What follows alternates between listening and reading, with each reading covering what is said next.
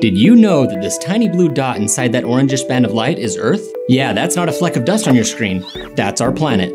This was taken by the Voyager 1 space probe from approximately 3.7 billion miles away. That's beyond the orbit of Neptune. This photo has many profound implications, but think about this. Of all the water on this tiny pixel, only about 1% of that is available for us to drink. A fraction so minute, it's scarcely conceivable. So let's make sure we safeguard and cherish every drop.